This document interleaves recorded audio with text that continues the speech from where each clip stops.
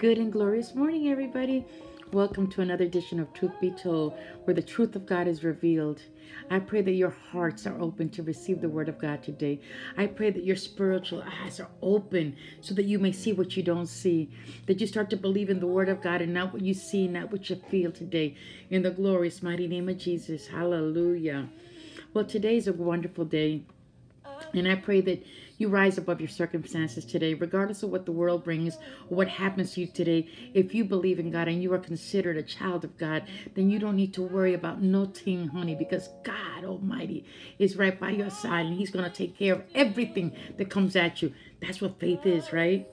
In Psalms 94 19, it's a beautiful verse. It says, In the multitude of my thoughts within me, thy comfort delights my soul. Don't matter what I'm thinking about. If I put my attention to God, then it's already taken care of. We have to learn to hold our thoughts captive.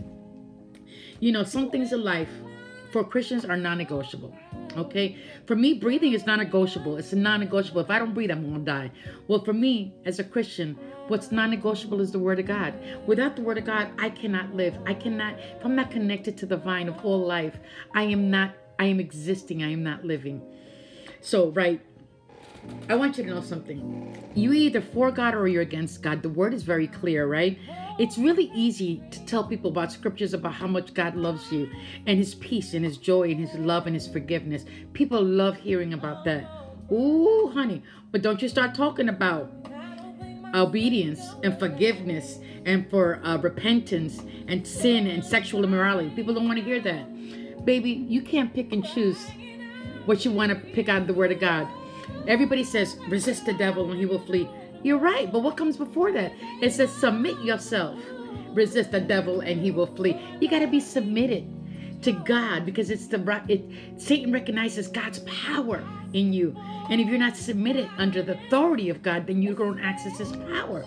I pray that you get this because we're trying to do things outside of the realm of God. We're trying to do things that we think is right. So you're telling me you know more than God?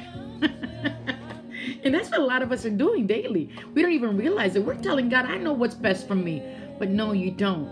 God has written an instruction manual. He's giving you everything you're going to need. We need to make God's word a non negotiable in our life. I pray you do this today in the glorious, mighty name of Jesus. I am on Devoted Drive and Humble Highway. Where you at? Holla.